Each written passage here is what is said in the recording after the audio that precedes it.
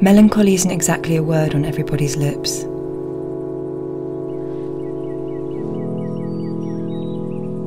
But we should pay more attention to it, even seek it out from time to time.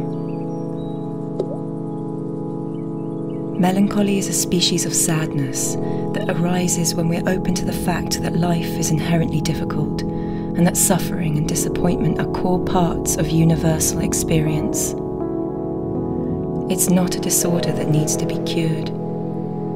Modern society tends to emphasize buoyancy and cheerfulness, but we have to admit that reality is for the most part about grief and loss.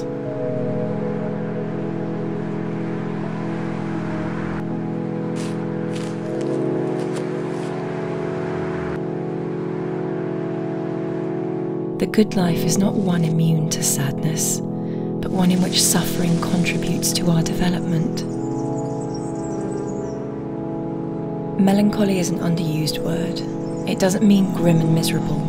It means grasping without rage the fact that the world is full of folly and greed, that it is rare to find inner peace, that it is hard to live comfortably with those we love, that it's very unusual to have a career that's both financially rewarding and morally uplifting that many decent people have a very hard time. Often sadness simply makes a lot of sense.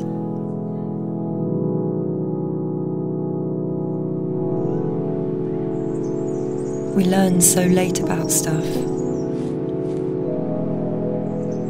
You've wasted years, everyone has. You can only avoid regret by switching off your imagination.